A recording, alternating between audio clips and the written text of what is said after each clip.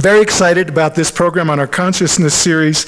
Uh, Dr. Tucker is the Bonner Lowry Professor of Psychiatry and Neurosci- Neurobehavioral Sciences at the University of Virginia, and he's the Director of the UVA Division of Perceptual Studies. It's our honor to have him come and share this information with us tonight. Please give a warm welcome to Dr. Jim Tucker.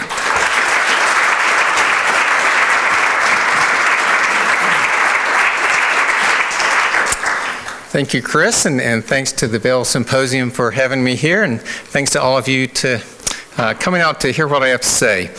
Um, so I'm going to tell you about 50 years of research involving cases from various parts of the world of, of young children who say that they remember a past life. And I will start with an example.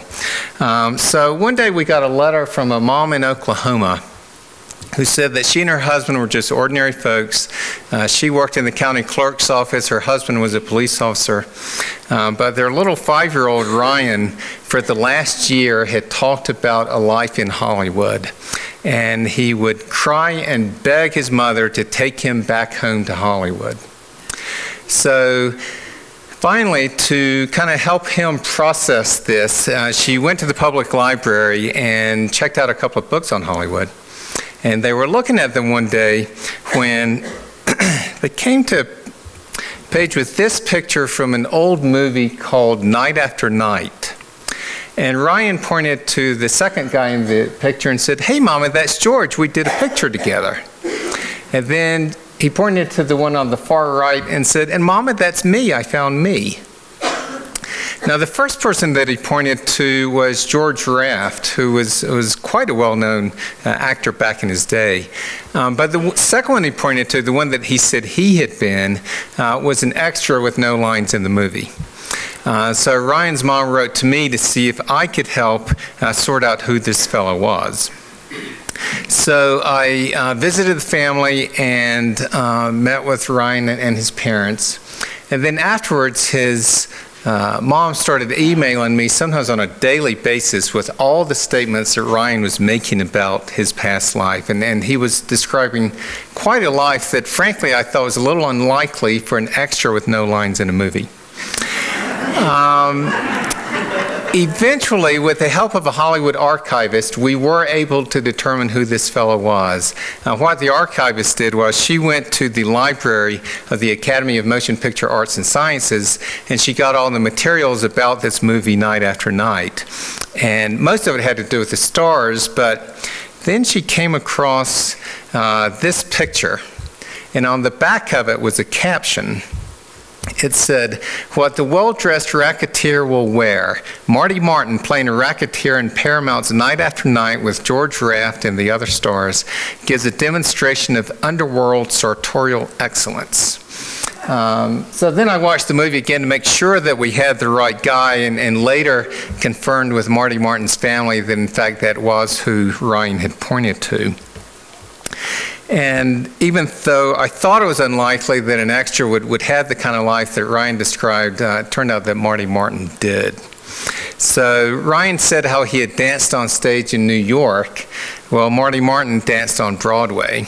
And Ryan said that he then went to Hollywood and worked in the movies, which Marty Martyn did, uh, mostly working on dancing in the movies. Ryan said that he then worked at an agency, and Marty Martyn started a successful talent agency. Uh, Ryan said he saw the world from big boats and talked about going to Paris.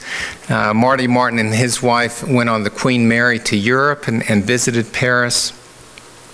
Uh, Ryan said that he had a big house with a swimming pool, which uh, Marty Martyn did. And, and, Ryan said that the street address had the word rock or mount in it. And uh, Marty Martyn lived on North Roxbury.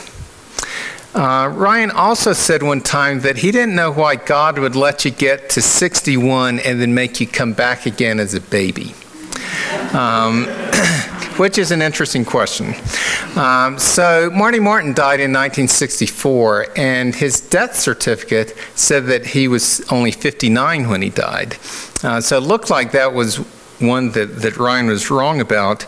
Uh, but then Marty Martyn's daughter and his stepson both said that actually he was 61. So I looked into it and found a passenger list, three census records, and two marriage listings that all gave ages that meant, in fact, Marty Martyn was 61 when he died and not 59.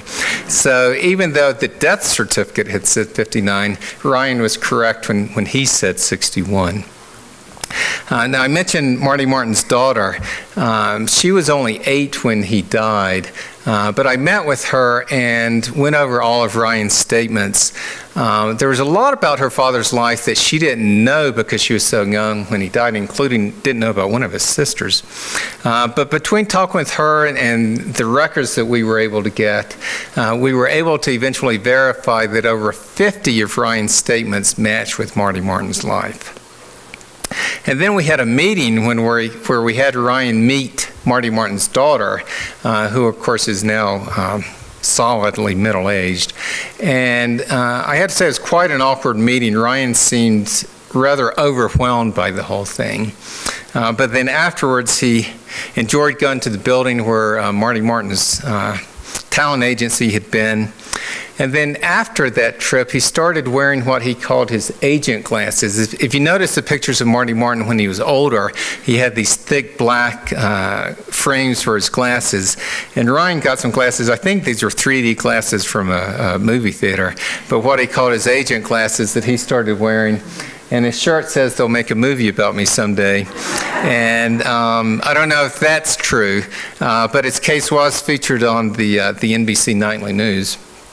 And uh, the main events of, of this case uh, took place now eight years ago. So uh, Ryan is now 14 uh, and doing very well. He's doing very well academically and socially, and, and um, things are, are, going well for him. Um, so now to tell you a little bit about how this work got started. Um, Ian Stevenson uh, was a psychiatrist who came to the University of Virginia in 1957 to be the chairman of, of the Department of Psychiatry.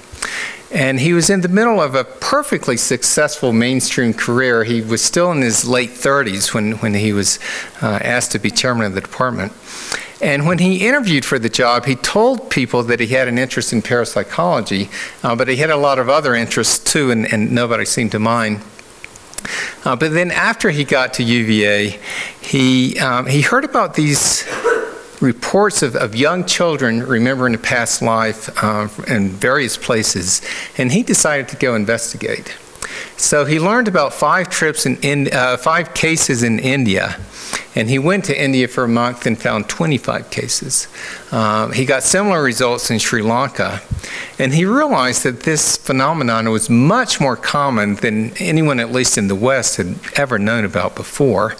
Uh, and got intrigued by the work um, and started spending more time on it. And, and he was able to do this because after he published his first paper on these cases, uh, someone who became interested in the work was a man named Chester Carlson. Uh, Chester Carlson invented the Xerox machine. So, of course, he was quite wealthy, and he started funding Ian's work uh, to the point that in 1967, Ian able, was able to step down as chairman of the department and uh, work full time on, on this kind of work and, and established what is now called the Division of Perceptual Studies, a research division within the Department of Psychiatry. Um, and uh, so Division of Perceptual Studies, or DOPS for short, and um, Ian then spent the bulk of the next 35 years uh, on these cases. Um, he, he took trips uh, to various places all over the world. Uh, this is him in Burma. And um, as you can imagine, uh, an American professor shows up in an Asian village and starts asking about past life memories. Uh, tends to draw quite a crowd, uh, as it did there. Um, and went to various places, mostly in Asia, but, but other places as well. And, and he always maintained a careful, methodical approach. He never assumed that a case was due to reincarnation. Um, and uh, instead, he just wanted to determine as carefully as he could exactly what had happened in each case and what the evidence was for connection to a previous life. And that is certainly still the attitude that we use with this work today. So I, I may not say alleged memories or apparent memories, uh, but we certainly consider it very much an open question as, as we approach each case. Uh, so Ian wrote numerous books and papers about this phenomenon. Uh, one of his books on uh, cases in India was reviewed in JAMA, the Journal of the American Medical Association, and reviewed actually by the um, book review editor, who wrote, in regard to reincarnation, he has painstakingly and unemotionally collected a detailed series of cases from India, cases in which the evidence is difficult to explain on any other grounds. He has placed on record a large amount of data that cannot be ignored. Now, the latter part of that turned out not really to be true in the sense that many people did ignore the, uh, the data that Ian was collecting, um, but that did not deter him, and he kept up with the work. Uh, he spent years working on another book that I'll tell you about in a few minutes. And he also worked to get other researchers interested in these cases. One of the early criticisms of Ian was that he was the only one finding these cases. Uh, but he got other people involved, several psychologists and then anthropologists started uh, studying these cases both with Ian but also independently. And then as a child psychiatrist, um, I got involved in, in the late 90s. Uh, so I've been at it now for uh, 20 years myself. Uh, and Ian continued to work. He finally retired in 2002, at, at, that point, well into his 80s. And even after he retired, he took one more trip to India. Um, his wife said at one point that she didn't mind him taking the trips, but she just wished that he would stop saying that each one was going to be his last trip. Um, and then he passed away in 2007, uh, remaining active almost until the very end. Um, the year before he died, he published his final paper, which was a wonderful review of his work called Half a Career with the Paranormal. And he finished that paper with, with these words. So his final published words were Let no one think that I know the answer, I am still seeking, uh, which I thought was a, uh, a rather nice way to go out. And as for DOPS, uh, we are still going with, with the help of, of other donors uh, after Chester Carlson. Uh, this is our current home. Uh, we certainly don't occupy the whole building, uh, but uh, there we have the Ian Stevenson Memorial Library, uh, where we have several thousand very interesting books. Uh, we also have a neuroimaging lab there where we do things like uh, do EEG recordings while people are trying to perform ESP tests, uh, tests, and that sort of thing. Um, and uh, we are also continuing to work with children's past life memories, which is, is my area of interest. So, to tell you more about the phenomenon, um, I mentioned that it involves very young children, and they spontaneously start talking about a past life. This work does not involve hypnotic regression, uh, but rather the kids just start coming out with, with details typically about a recent ordinary life. Uh, they are not talking about being kings or queens, almost never talk about being a famous person um, but somebody ordinary, uh, usually from the same country. And when I say recent, uh, the average interval between the death of the previous person and the birth of the child is only four and a half years. Uh, now, there are certainly exceptions, like Ryan's case was, was an exception, uh, but typically they're very recent. And some of the kids talk about being a deceased family member, like a, a grandparent. Uh, but others, like Ryan, describe being a stranger in another location. And if the child gives enough details, like the name of that location, then people have often gone there and found that, in fact, somebody did live and die whose life matches the details that the child gave. Um, in that circumstance, we call it a solved case. Uh, if a child talks about a past life, but no one's able to verify that the details match somebody who actually lived, we call it unsolved. Uh, we have plenty of both kinds actually in our collection, but two thirds of the ones that we've studied uh, have been solved. Now, the one part of the past life that is often out of the ordinary is how the previous person died. Uh, 70% of the cases involve a past life that ended by unnatural means, meaning murder, suicide, combat, accident, that sort of thing. Uh, so, that certainly seems to be an important part of this phenomenon. Um, so, we've looked at this a little bit. So, with each case, uh, we coded on 200 variables and put it into a database. Uh, and it's taking us years and years to get all the old cases coded, but we've got over 2,000 of them now coded. And one of the items that we've looked at with the database is mode of death. Um, so I'll warn you, this next graph looks a little complicated. Um, Going up and down is just the number of cases, and then going across is the age when the previous person died. Uh, the green bars at the top are the natural deaths, and then all the other colors are the various kinds of unnatural deaths that the previous people suffered. Uh, so the main point of the slide is to show you that we have a lot of unnatural deaths. Um, but it also looks like people are dying young. Uh, the, the, complicated part is that people who die unnatural deaths tend to be younger um, because they're the ones that are more likely to drive too fast or to drive motorcycles or get into drunken knife fights or whatever. Uh, but what we can do is we can pull those out and look just at the natural death cases to see if dying young is an independent factor from, from dying violently. Uh, this next graph is just one I pulled off the internet, but it's uh, a typical graph of deaths by age. So again, going up and down is number of deaths, going across is the age when people die. And it's a typical graph where going across the lifespan, you see this gradually upsloping curve until eventually so many people have died. There's so few people left that it drops off at the end. But for most of the lifespan, you get this gradually upsloping curve. Well, with our cases, just looking at the natural death ones, uh, the curve actually goes in the other direction. And in fact, in a quarter of the cases, the previous person was age 15 or less. Uh, so there seems to be something about dying violently or dying young that makes it more likely that a child will later talk about that life. Now, as far as where we um, find the cases, we have now studied over 2,500 cases uh, worldwide.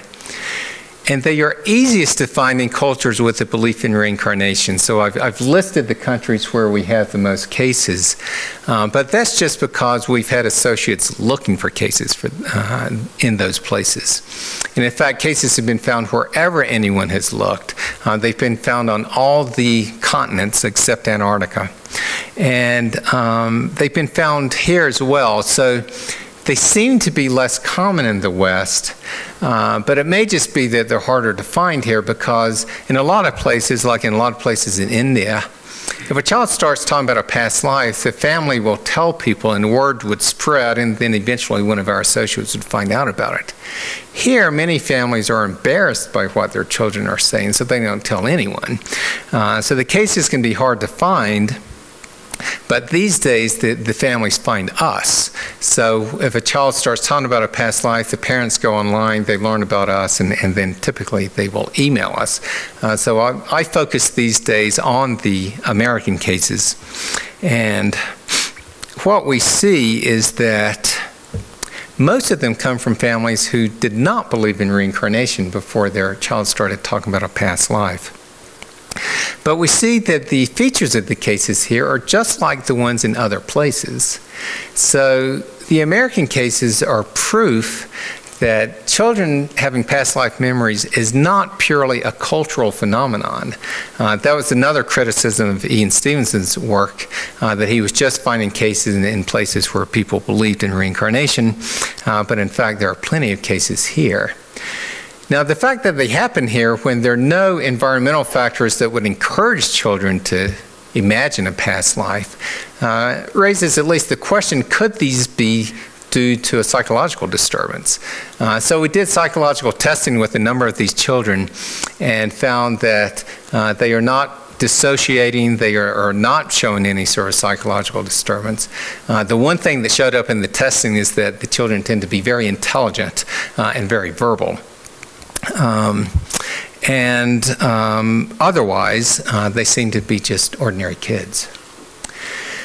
Now, as far as the features of the cases go, one feature that Ian found really interesting was uh, a number of the children have been born with birthmarks or birth defects that match wounds, usually the fatal wound on the body of the previous person.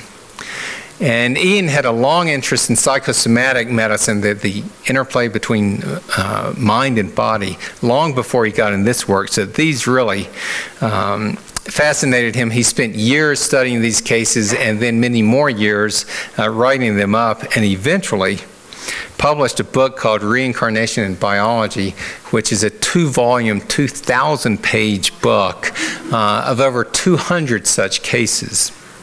And um, I don't have time to review all 200 cases with you, uh, but I'll show you a couple of pictures. So uh, there was a girl who remembered the life of a man who got his fingers chopped off as, as he was being murdered. And the little girl was born with her hands looking like that. Um, there was a boy who remembered the life of a boy from another village who had lost the fingers of his right hand in a fodder chopping machine. And the second little boy was born with his hands uh, looking like that, which is quite an unusual defect. Uh, there was also a boy who remembered the life of a man who was killed by a shotgun blast to the side of his head. And this little boy was born with just a stub for an ear and uh, an underdeveloped right side of his face. Um, Ian also listed 18 cases in which children were born with two birthmarks, ones that matched both the entrance wound and the exit wound on, on the body of a gunshot victim. Now, as if these cases aren't strange enough, uh, there's also a phenomenon in several parts of Asia uh, that Ian called experimental birthmarks. Uh, and this is a practice where uh, after a person dies, someone will take a substance, usually soot or paste, and make a mark on the body and, and make a wish that the person carry the mark with them to their next life, where they'll be born with a birthmark uh, that shows um, um, where they have come to be reborn. Uh, and this is usually done with the expectation that the person will be born into the same family. Uh, so Ian studied 20 of these cases, and, and then a colleague and I found 18 more. One of the ones that we found was a, a boy in Thailand who was thought to be his grandmother. And his grandmother, before she died, said that she wanted to come back as a male uh, so that one day she could have a mistress, um, the way her husband did. And after she died, her uh, one of her daughters took uh, some white paste and just made a mark down the back of her neck. And then a year later, uh, a grandson was born, and um, he had this mark on the back of his neck. He didn't talk a lot about her life, but he did make a number of statements uh, remembering being his grandmother. Um, this is another case from Thailand. Uh, this is a uh, little girl whose grandfather died five years before she was born. And a couple of hours after he died, uh, her aunt took some soot from the bottom of a rice pot. And I had one of the villagers uh, put some on his finger just to show what it looked like. Uh, she took some soot from the bottom of a rice pot and made a mark on his right leg above his ankle. Uh, and then five years later, this little girl was born uh, with this mark on her right leg uh, above her ankle. Now, when we saw her, she was only two and a half, and she hadn't made any clear statements that related to the past life, but of course she was still very young then. Uh, and then the, uh, the last case of this type that I want to tell you about is one of Ian's cases from Burma. Uh, this young woman, unfortunately, was the previous person in this case. Uh, she was born with a uh, congenital heart defect and then died uh, when she was 20 during open heart surgery. And after she died, three of her friends offered to prepare the body for cremation. And they'd heard about bodies being marked, so they took some red lipstick and, and made markings on, on the back of her neck. And then a year later, her older sister was born. and I mean her older sister, uh, gave birth to a girl uh, who was born uh, with this birthmark, if, if you can see it's a red area on the back of her neck. Now, as Ian pointed out, the women picked the worst possible place to mark a body because stork bite birthmarks are pretty common and will occasionally persist in, into early childhood. Um, but when Ian studied this case, he also noticed that this little girl, and I don't know how well it projects, but uh, she had this white line uh, going from mid sternum to mid abdomen that looked similar to a cardiac surgery scar, uh, except it was older, at least by the time that, that he met the girl when she was four years old. Uh, and she had talked about the past life. In fact, she had asked to be called by the previous person's name. And she would refer to the family members uh, by the relationship that the previous woman had. So, for instance, she called her own mother uh, the, the um, term for uh, older sister. Um, and when Ian studied the case, he interviewed the women who had marked the body and discovered that one of them had never met this little girl. So, unannounced, he took the woman to the family's home.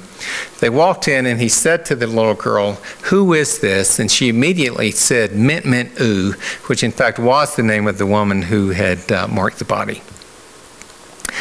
Now, along with these birthmarks, of course, are the statements that the children uh, make about the past life. And I said it was young children. The, the average age when a child starts talking about a past life is 35 months. So it's usually a two or three year old who starts coming out with these things. And some of them will do it in sort of a detached way, but many of them show very strong emotional involvement with this material.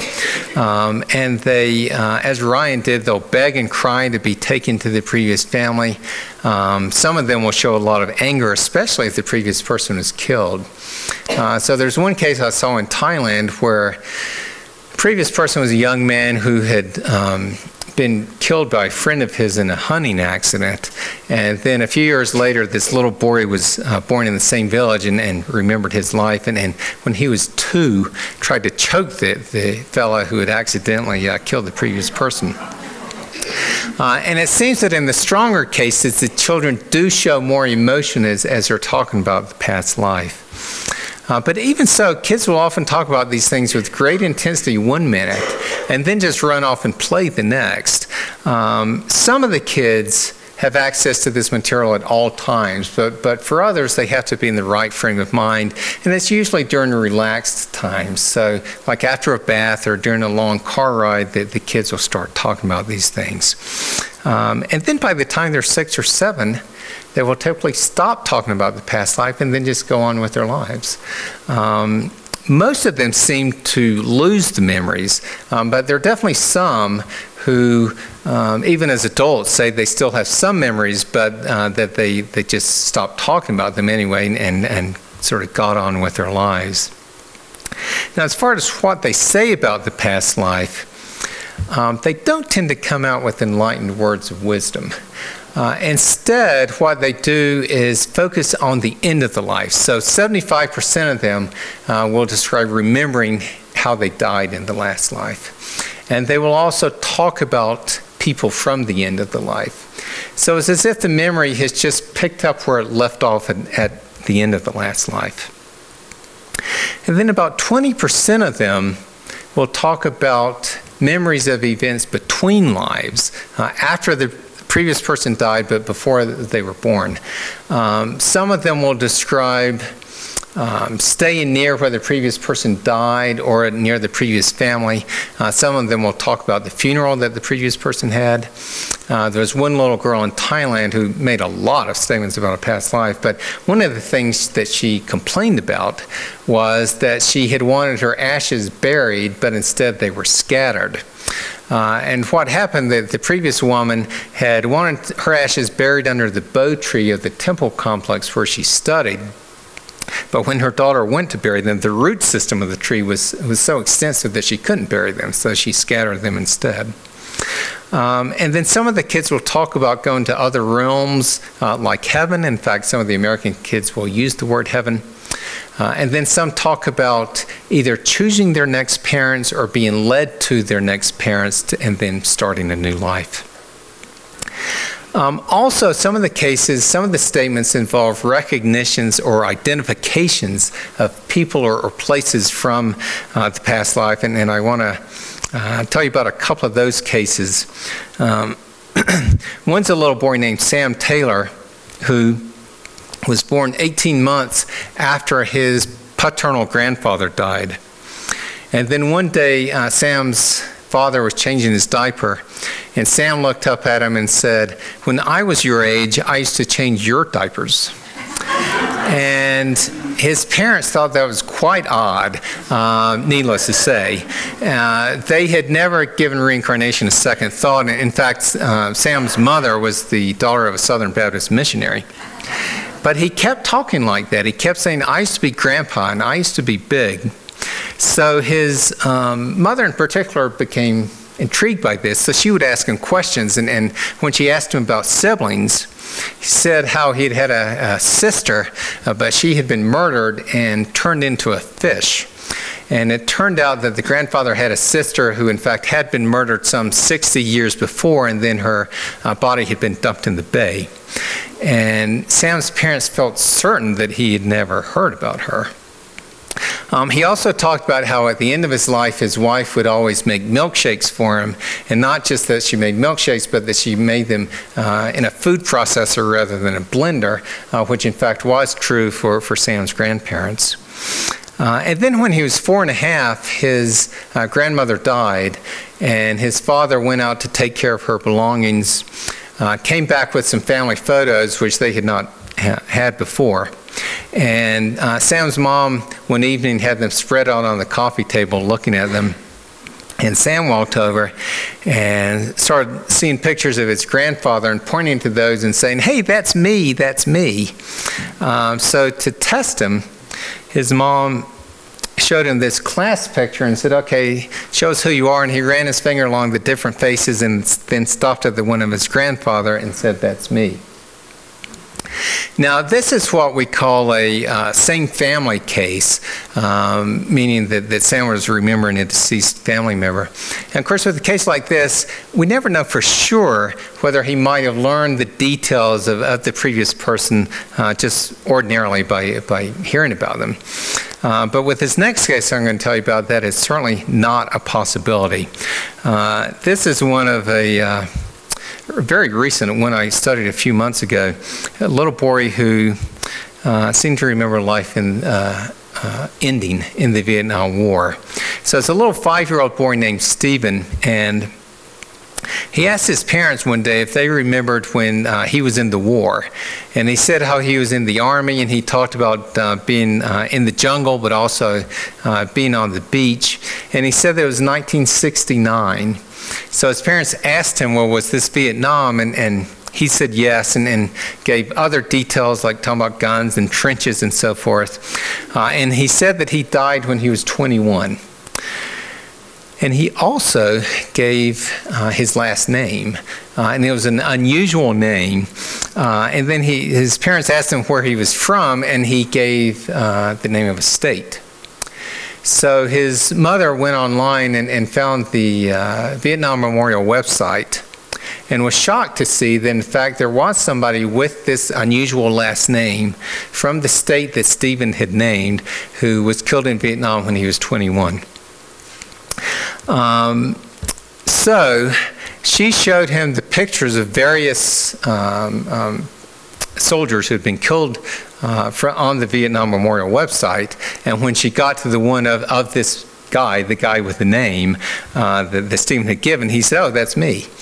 Uh, so then she didn't do any more online searching. And, and instead, uh, she wrote to me, told me about the case. So then I did some more searching. I, I uh, joined a uh, newspaper archive website, so I was able to access uh, the previous fellow's uh, obituary and then followed that to learn various details, uh, including his home address where he lived, as well as the high school that he went to. Uh, so when I visited Stephen's family, I brought along some pictures to test him. And what I did, I didn't want to overwhelm him with tons of pictures, so what I did, I would show him pairs of pictures and asked him if he remembered either one. So the previous man went to um, Central High School.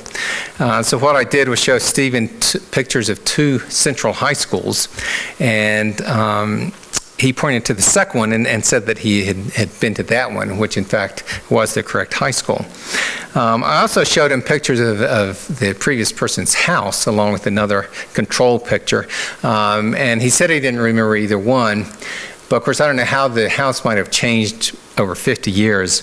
Um, but I also showed him pictures of, of uh, two other houses, including the house across the street from the house where the man had lived, along with a control picture actually from, from Charlottesville. And he correctly uh, pointed to the one, the top one, uh, from across the street and said he remembered that one. Then after I visited them, I, I, came back and continued to do online searching, and it's frankly amazing what you can find sometimes online. So by being a member of Classmates.com, uh, I was actually able to access this guy's high school yearbook from the year that he graduated from high school in, in 1968.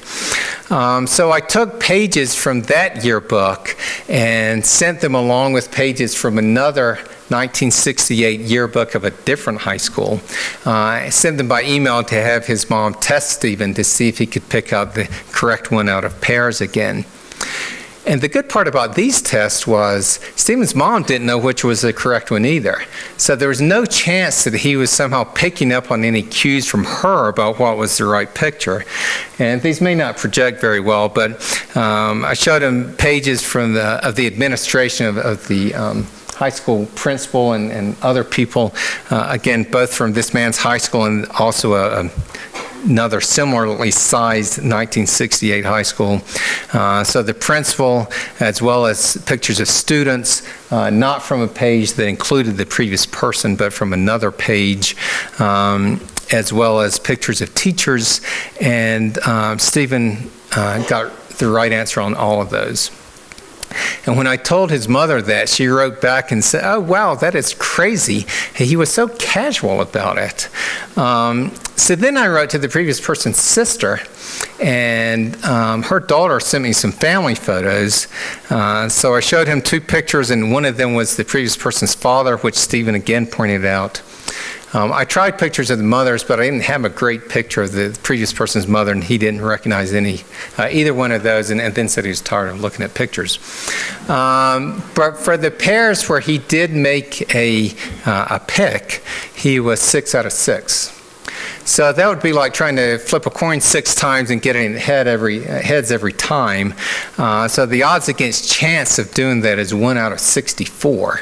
Uh, so less than a 2% chance that, that you could do it uh, just by luck, pick the correct one each time. Uh, so these are um, evidence that Stephen did have a link uh, to uh, this young man who lost his life in, in Vietnam. Now, along with the statements, um, the children also often show behaviors that seem linked to the past life. So I've mentioned that a lot of them show emotions, and they will show emotions toward the individual members of the previous family, if they meet the previous family, uh, that are appropriate for the relationship that the previous person had. So, uh, for instance, when a little girl meets the previous family, uh, she may be very um, deferential toward the previous husband or the uh, previous parents, uh, but very bossy toward the younger siblings, even though those younger siblings are much older than the girl is. Um, these emotions will usually fade as the kids get older, but not always. And there was at least one case where the little boy eventually grew up and married the widow of the previous person.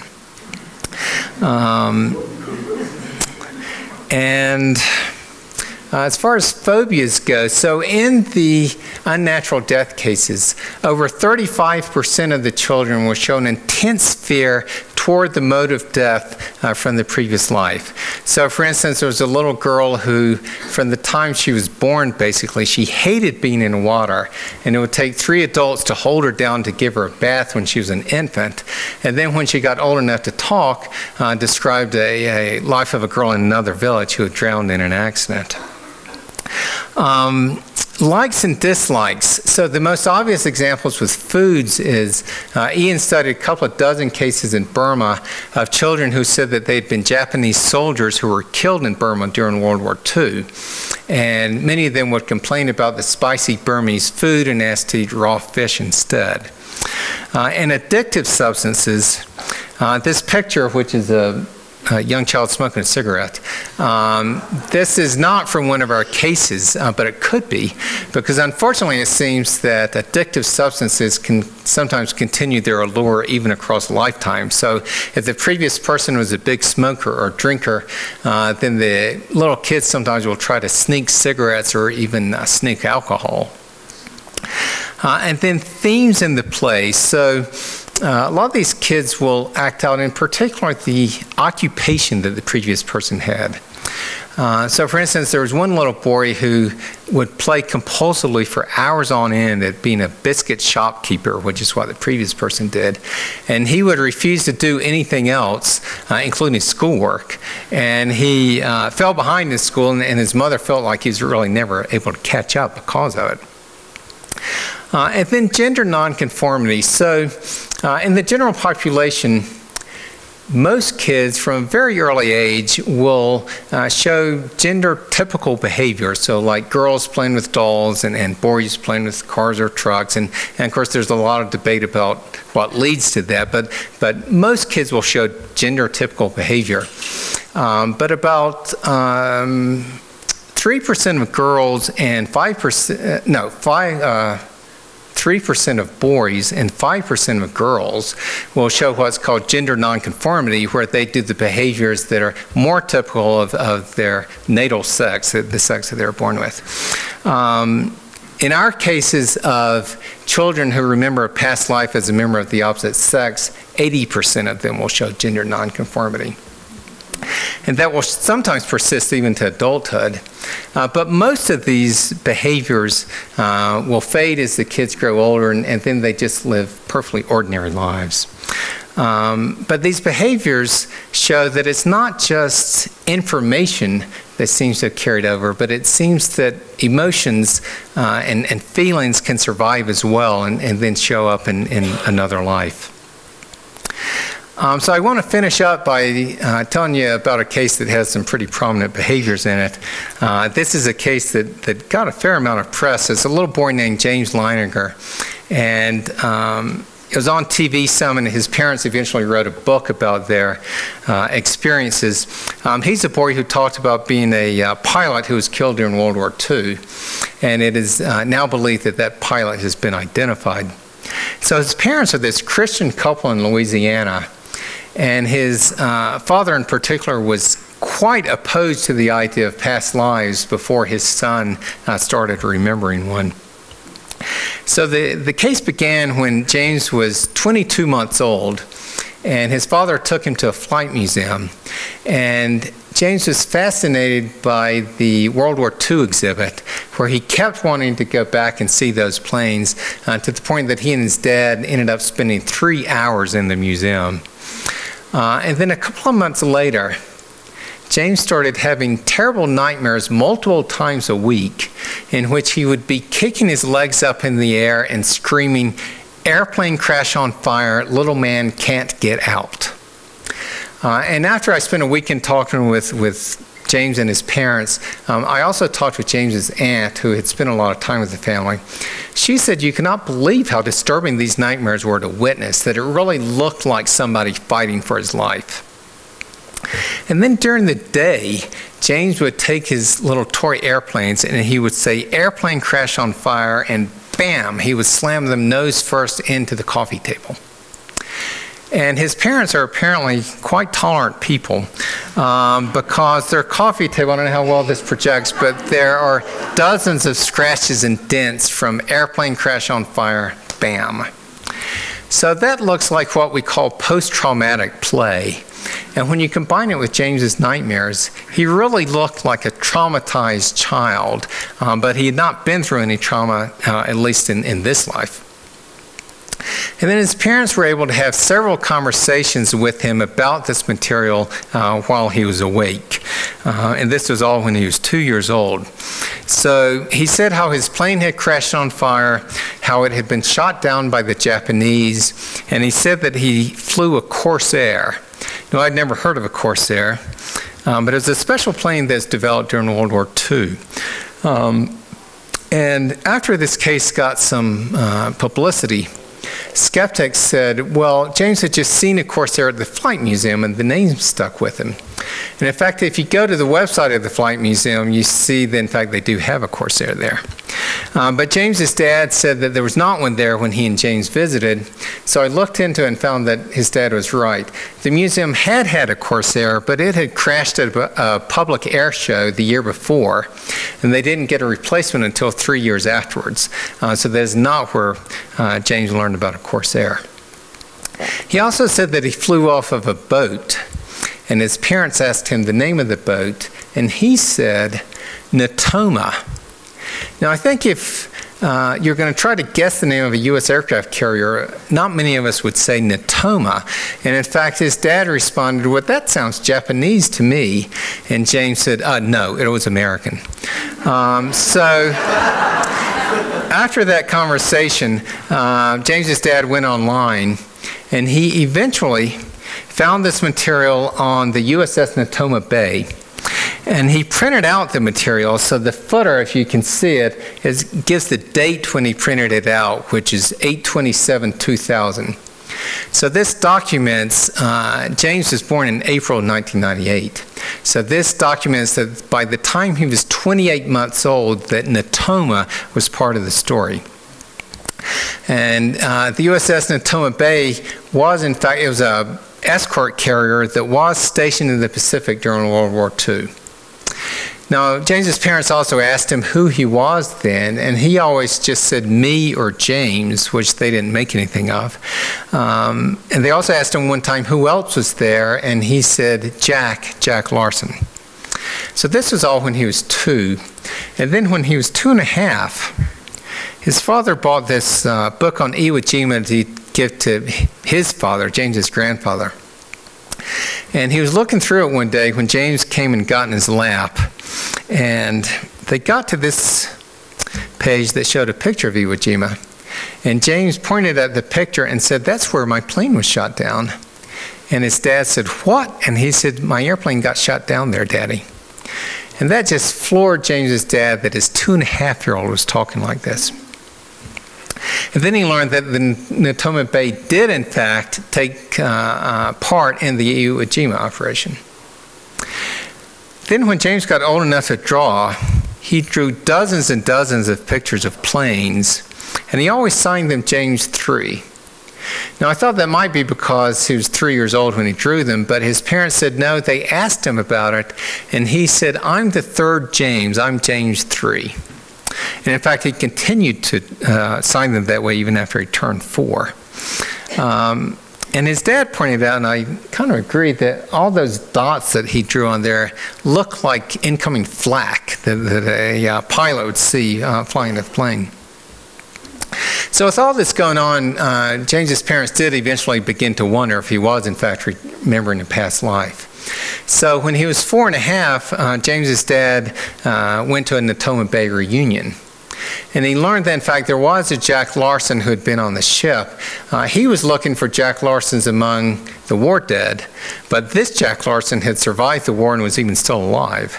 Uh, so James's dad went and, and met with him and learned that he was on the ship during the Iwo Jima operation. And he also learned that there was one and only one pilot from the ship uh, that was killed during the Iwo Jima operation. This was a young man from Pennsylvania named James Huston. So that means if James Leininger was remembering a past life, it had to be Huston's life because he was the only pilot from the ship who was killed there. Uh, so what we can do is compare James's statements with Huston's life. Now, James's parents said that he also talked about family life before the war. Um, but we don't have documentation of those statements that was made before Huston was identified. Uh, but what I've done is, is listed all the items where we do have definite documentation that was made before anyone knew anything about uh, James Huston. So uh, James signed his drawings James 3. James Huston was James Jr., which would make James Leininger the third James. James said he flew off the Natoma. Huston was a pilot on the USS Natoma Bay. James said he flew a Corsair. Huston had flown a Corsair. He was actually flying a different plane when he was killed, but he was part of the squadron that tested the Corsair for the Navy. James said he was shot down by the Japanese. Huston was shot down by the Japanese. James said he died at Iwo Jima. Huston was the one and only Natoma Bay pilot who was killed during the Iwo Jima operation. James said one day, quote, my airplane got shot in the engine and crashed in the water and that's how I died. Eyewitnesses reported that Huston's plane was, quote, hit head on right on the middle of the engine. James had nightmares of a plane crashing and sinking in the water. Huston's plane crashed in the water and quickly sank. And James said that Jack Larsen was there, and Jack Larsen was pilot of the plane next to Huston's on the day that he was killed. So, with that, I will stop. Um, if you want to learn more about our work, please go to our website, which is uvadops.org. Um, I am also happy to take questions now, and thanks very much for your attention.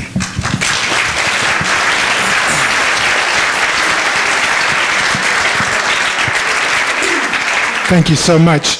So raise your hand and I'll bring the microphone. Please stand up to ask your question. Thank you. Hi. Hi. Thanks for being here. Of course. Um, have you ever heard of a little girl saying to her daddy when she was three, Daddy, do you remember when we were married? Um, yes, I, we have heard from parents that where the child has said that sort of thing. Um, now, most of the kids do not describe a connection with someone in their current life in the past life, but some of them do. So, yeah, that's the kind of thing that we've heard. So this is probably asking your opinion uh, versus science. Sure. Do you believe that all of us have had former lives, we just don't remember them? Well, that's a good question, and I agree with your premise. I mean, our cases actually don't say whether this is universal or whether it's just these kids. Uh, the question is whether, I mean, the, the type of death seems to be a factor here, but is it just that um, uh, dying violently or dying young then makes it um, more likely that you come back quickly with intact memories or whether you come back here at all.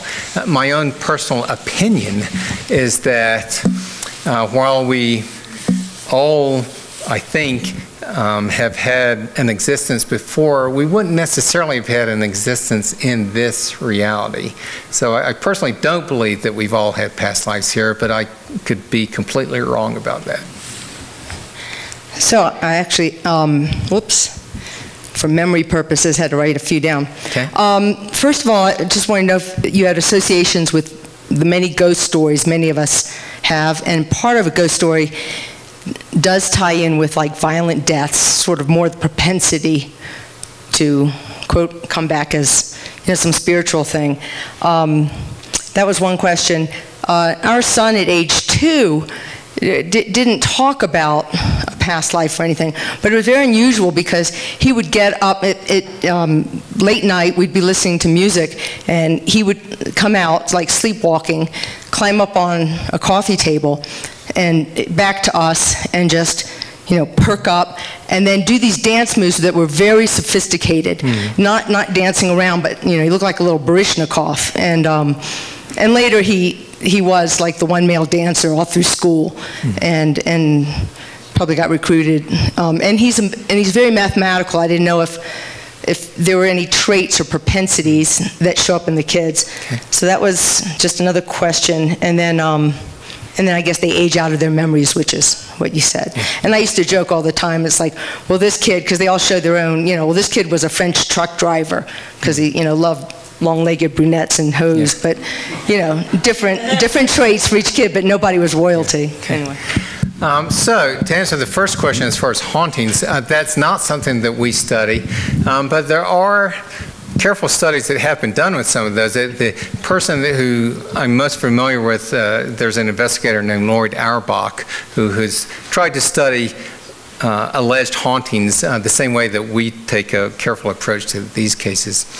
Um, as far as what you're describing with your son, um, certainly we see in our cases what Ian Stevenson called behavioral memories, and you know, it's possible, it's plausible that his child could have behavioral memories but not have verbal memories. So it's sort of remembering the dance moves, uh, but not remember other details from the life. Um, and we do have some of the children will have sort of um, um, special talents uh, that seem connected to the past life. We don't have a ton of those, uh, but there's one in, in, one of my books, a, a, a, long story that I won't go into, but a young child who said he remembered being the, the golfer Bobby Jones, who was a golfer long time ago now. Uh, but this kid was a real golfing prodigy, uh, and has won dozens of golf tournaments at, at, an early age. So we do see those behavioral skills in some of our lives, uh, some of our cases. Good evening. Hi. Um, you mentioned a lot of the children um, refer to heaven, which we equate with a belief in a higher power. Uh, how would you I mean, do you find that, that it's in religious families or children raised with some sort of belief in a higher power that that resonates, or is it across the board? Well, the terminology differs from uh, depending on where kids are. But there are certainly plenty of kids in Asia who will talk about going to another room, meeting spiritual guides, and that sort of thing. They don't necessarily use the word heaven.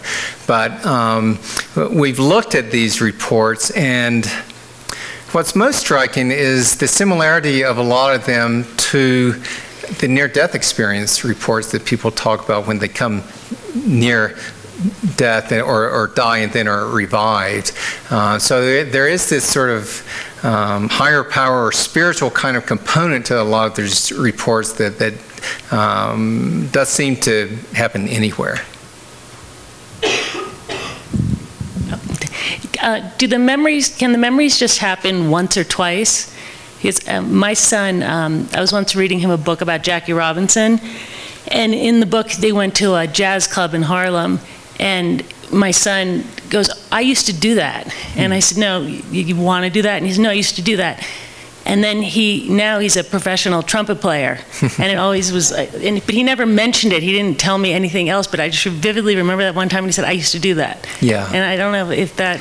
Yeah, we, we do get those cases. There's one actually in Charlottesville where the uh, um, woman I was driving down the road one day with her kid in the back seat, and he certainly pipes up and says, In my last life, I drove a big truck. That was the only thing he ever said about it. Um, and then there's another one where a little girl had a very intensely emotional memory just one time for like an hour, and, and that was it. So yeah, there, you know, with all of these, it's sort of like in many cases seems to be, you've got some glimpses of a dream where you don't fully remember it, but you'll remember pieces of it, and, and sometimes it's just a quick glimpse, and, and then that's all there is. Thank you for your presentation. Um, when you were looking at the development of the brain of the child, and you had the differentiation between two-year-old and then the eight-year-old, is there an openness of the brain of the two-year-old that is different than the eight-year-old that allows for this open corridor? Thank you. Well, certainly the brain um, around the age of five or six goes uh, undergoes tremendous physical changes, and um, with with a lot of um, new nerve cells being uh, built and so forth. And that's actually the age where all young children lose their memories of early childhood. Um, so even memories that are fully in long-term memory, um, by the time they're six or seven, they'll typically forget. And it's the same with most of our cases; they lose those memories. Um, but also for people who have been parents, you probably know, young children often seem to have sort of a connection to um, otherworldliness that the rest of us don't have. They may talk about heaven or talk about seeing angels or seeing deceased relatives, and, and then that typically fades away and they get more grounded in this life and, and hopefully you know enjoy it. And maybe maybe we need to let those things go so that we can fully experience this life here. Thank you for the work you're doing. This is very important stuff. We really Thanks. appreciate you sharing it with us. Do you ever hear reports of children remembering lives on other planets or as other uh, beings aside from human uh, yeah, with the other planets, I mean, once in a blue moon we'll get those reports, and, and so to speak. Um, and uh, needless to say, they're completely unverifiable. Um, but we don't hear many of those. I think for intact memories to come through, it's much more likely if it is a closely connected life. So they're usually very recent, they're usually from fairly close by, and sometimes even in the same family. So uh, it's not to say that other people don't have other kinds of lives, but just the memories aren't able to make it through that, that long process. Um, as far as other beings, other animals, uh, we do occasionally get those reports, and um, you know, those aren't ones that are necessarily completely comfortable to hear about. And again, they're usually very unverifiable. Uh, there was one case with a, a kid remembering like a, a snake, which is um, again, I put in one of my books, and it's it's a pretty wild case. But the, the wildest part, perhaps, and it was even there were verifiable details about remembering being killed by a particular man in a cave, and, and that stuff was verified. Uh, but the boy was born with what's called ichthyosis, where he had scaly skin. Um, so that that was quite an interesting case. A, a question about your work. Yes. Are there also other agencies or departments in academia, in psychiatry or elsewhere, that also seek reports like this, or are the targets of reports like this, or are you like the tornado chaser? Um, well, we're the only depart or division, research division that seeks these. Uh, but th- as I mentioned, Ian Stevenson got other um, investigators, other researchers involved where they will do it at other universities, but not as part of a, a research division, but just do it on their own. Any um, relationship between imaginary friends and past life um, things you're describing? Well, it's an interesting question. Actually, one of our colleagues, uh, an anthropologist, wrote a paper comparing the two. And, you know, there's some similarities and then there are also a lot of differences. And, and um, I confess we don't really ask, uh, or at least I haven't asked with the families I've interviewed, whether these kids also talk about imaginary friends. It's, it's not something that they've reported spontaneously. I, I can't think of a single case actually where a child talked about an imaginary friend, um, but, but there probably are some, but the, we're not aware of a connection. Have there been any cases um, where they speak a different language? Or, or yeah, that, that's what's called xenoglossy. There, there are a very small number, and none of them is, is a perfect case, I'll say that. Now, most of the kids are talking about a past life in the same country, so they speak the same language. Uh, there have been some where the parents said that they spoke a language, or seemed to be speaking a language that no one understood when they were younger, and the child did then talk about a past life in another country. Um, but what's more likely is that the parents will say that the child uh, was able to learn another language much quicker than his or her peers were, but not that, that they just came out with it. Have you done any research on um, the neuropsychiatry or the neurophysiology of the brain in terms of any differences. I'm thinking also about studies that were done, I think it was Pribram, during split brain surgery, where they would stimulate with an electrode a certain part of the brain, and because the person's awake, they were able to trigger a memory, and sometimes it was a memory of essentially a past life or a second language that that person didn't know or something such as that. Well, needless to say, that's one study we haven't done is to uh, poke the brains of, of these kids. Um, it, it's we have not done formal neuropsychological testing um, in any more depth than what I described. And we, we did do some not neuropsych testing of the brain, but more psychological functioning. Um, as far as functional imaging of the brain, I mean, that would be almost impossible to do in three or four year olds. Uh, there may be testing that we can do later, but we have not done it so far. Are you taking new cases? And if you do, who will we contact you? Uh, we are taking new cases, and um, you can reach me or reach us. Uh, well, it just went off, but the uh, UVA DOPS, D-O-P-S.org, or if you just Google my name. Um, you can email me, and I'll be more than happy to, uh, to read about the case. Can you share any cases where they talked about picking their parents from heaven or wherever they were? Uh, well, one was actually um, James Leininger was one, and uh, he said one day that he was glad that he had. He told his dad he was glad that he had picked him to be his father, and he said that he had done it uh, when he saw his parents having dinner on the beach at a pink hotel in Hawaii, and it turned out that in fact his parents had gone to Hawaii, stayed at a pink hotel, and the last night of the trip had uh, dinner on the beach. And it was during that trip that his parents started trying to conceive. Um, the mom didn't actually get pregnant for a couple of months, but that was when the intention began. Um, and then Ryan, the case I showed you at first, he, he didn't say that he picked his parents, but he told his mother about um, how she had wanted to have a girl and how upset she had gotten when the doctor did a test and told her that she was having a boy and how she'd gone to dinner with her husband and cried through the whole thing. And that, in fact, did happen because um, Ryan's dad had been married before and was a little bit older, so when they got married, he had kids from his previous marriage. The agreement was that they would only have one child.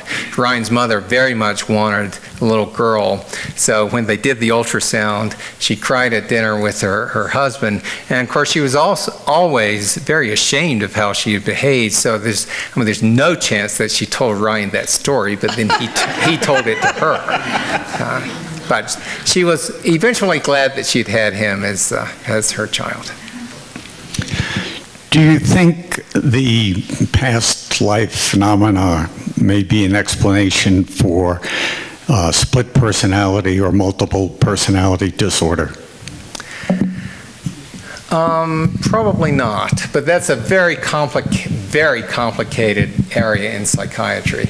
Um, uh, which is sort of the subject of another talk. But um, I mean, even in those cases, the as far as the ones I know of, the alter, the other personality, does not say that they lived before, but more that they're living currently.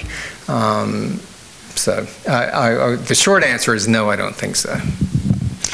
What do you feel the similarities or differences are between people, the children that come out with this spontaneously, and people who go through past life regression with hypnosis?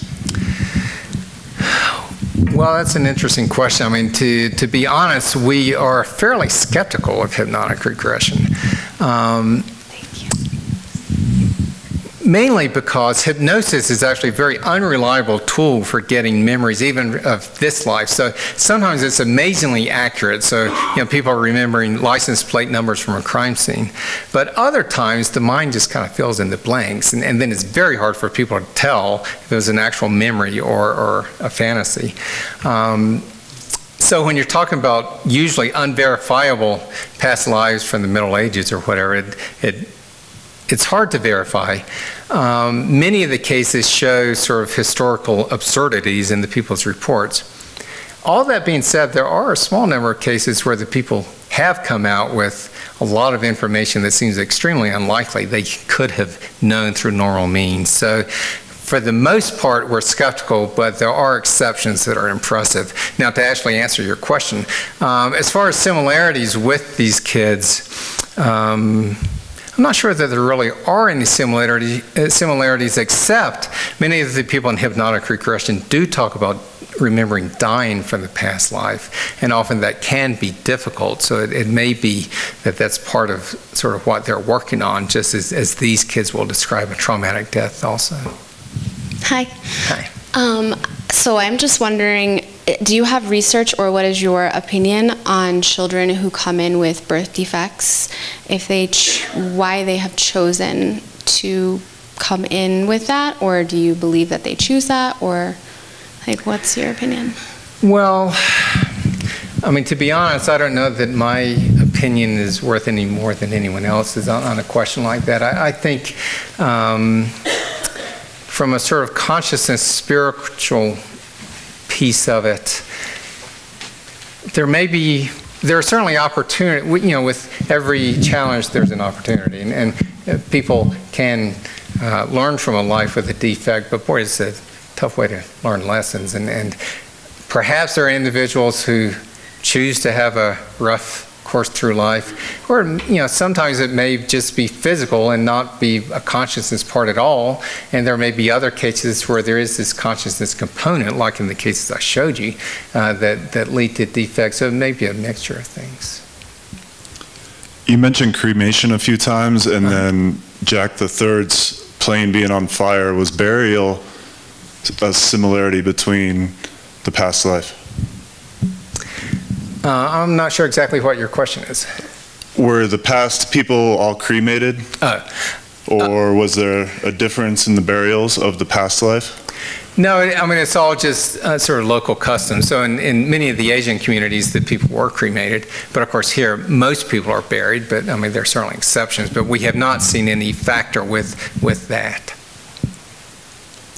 Yes, good evening.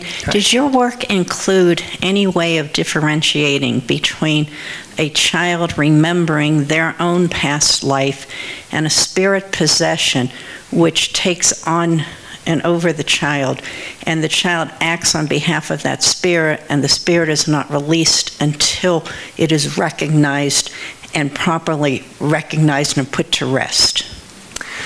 Well, I think, I mean, that's an idea that certainly some people have proposed. Uh, I think the birthmarks and birth defects you know, would get to be a little bit of a stretch. Um, but also that's certainly counter to the experience of the children. I mean, they are not just um, remembering information to be sure, but experiences from the point of view of this one person. And I mean, yes, you could say, well, it's a spirit sort of on top of a different uh, individual. Um, I, I wouldn't say that there's any evidence for that. Um, and again, the memories do tend to fade, um, but they fade along with memories of early childhood. Um, I will say also that, I mean, while the, the children um, don't necessarily talk about the past life at all times, it's not like they sort of an on-off switch where they assume a different personality and talk these things. It's a little child talking about things they say they remember, so it seems to be the same personality. So how, how does your work reconcile or follow um, the beliefs about reincarnation sort of stepping up in levels uh, with these kids? And um, additionally, have you followed any that might have gone two steps up. I know there was the Jack the Third or John Third, but. Well, when you say two steps up, what do you well, mean? I don't know. I'm just like, well, died, you know, found the spirit. I didn't know if you went three three times around, you know.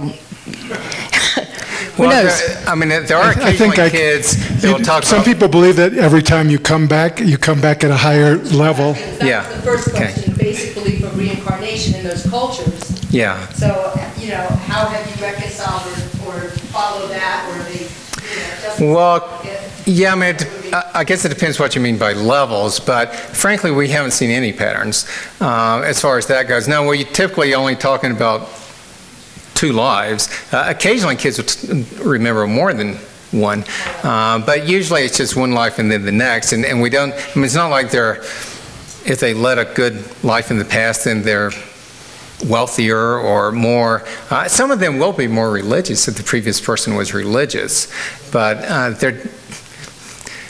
It would be a hard pattern to discern in our cases anyway, but, but we don't particularly see a move up on, in levels.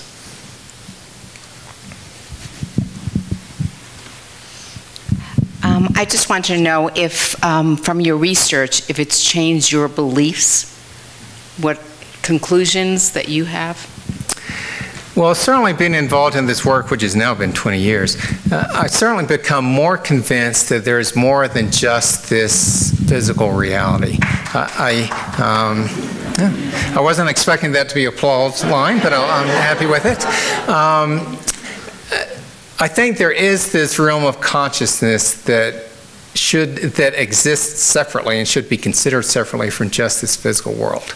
Um, how it looks or how it works, you know, I'm still not sure. Again, as, as someone else asked, I don't know if we all reincarnate here. Um, I, we do seem to have a series of existences, um, but they may be in very different realities from here. But, um, but this work, I, I would say, is kind of affirming in, in the sense that, again, it, it provides evidence that this, there is more than just a random universe where we're here for a while and then we die. That, that there's more to it than that. How long do you generally follow these children? Uh, I know they have these memories, and then you're doing your research, and it takes quite a while to do that. I'm just curious to know how long you follow them. Well, it varies. Um, uh, Ian Stevenson would sometimes visit people 20 years later. Uh, I've kept in touch periodically with, well, with both uh, James Leininger's father, but also Ryan's his mom. And he's now 14, and we're actually going to be uh, getting together soon. That there's a Netflix series about survival that is getting ready to be made, and one of the cases they're going to feature is Ryan's case, and, and so I'm going to get a chance to see him again, and and also we're going to, it looks like, have him uh, meet Marty Martyn's daughter again to, to have another meeting. So that should be interesting. So, kind of off of what she was asking, I think, too, um, said that they kind of go from birth to eight. Do you kind of try to look at this for a longer period before you start looking into this? And how do you maintain the objectivity of it being a true science? Well, what we try to do is as soon as we can, document exactly what the child has said. Um, and then in, in some cases like Ryan's, then we try to see was there somebody who whose life he's describing. Um, but the documentation is key. We, we don't want to rely on anyone's memory if we don't have to. Now, a lot of the cases that Ian studied in Asia, the families went and found the previous person themselves before anyone wrote anything down. Um, and, and, you know, you've got a lot of witnesses, and I mean, there can be other kinds of evidence, but we certainly prefer the evidence to be as objective as possible. Does there seem to be a connection um, with uh, reincarnation and, and the, the being um, having unfinished business where they have to um, tie up some loose ends or something through another person? Yeah, I mean, you can often make that case. The problem is, of course, that's a fairly general idea. So, but certainly, if people die suddenly, die violently, or die young, I mean, you can well imagine that there would be unfinished business. Um, even in the case of Sam Taylor, where was a grandfather who just died a natural death, um, Sam's dad said that the grandfather, uh, was never really able to express love to his children. So he felt like if, if Sam was his, his father reborn, that it was so that he could come back, and, and they shared a very close connection. So, you know, perhaps it was some of that unfinished business that brought him back. So you were explaining how traumatic deaths are fairly important in these cases. So have you ever had a case where a murder was solved from these future children? Um, not that I'm aware of, but there are there have occasionally been news reports of um, when these children like testifying in court. Um, but I, I, I don't I don't know the details of those, and, and I'm not aware of, of I mean it would make a great TV show, but I, I'm not aware of any cases like that.